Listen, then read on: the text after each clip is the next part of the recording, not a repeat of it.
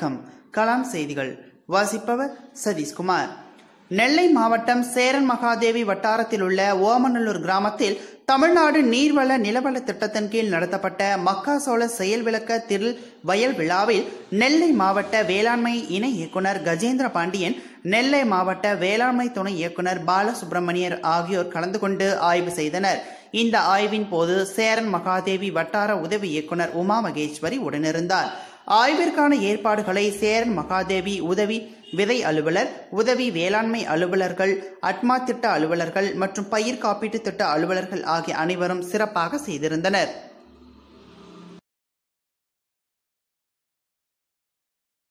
வணக்கம். நான் திருநெல்வேலி வேளாண்மை இணை இயக்குனர். எனது பெயர் கஜேந்திர பாண்டியன். இங்கே சேரமாதேவி வட்டாரத்தில் சுப்பிரமணியபுரம் என்ற கிராமத்தில்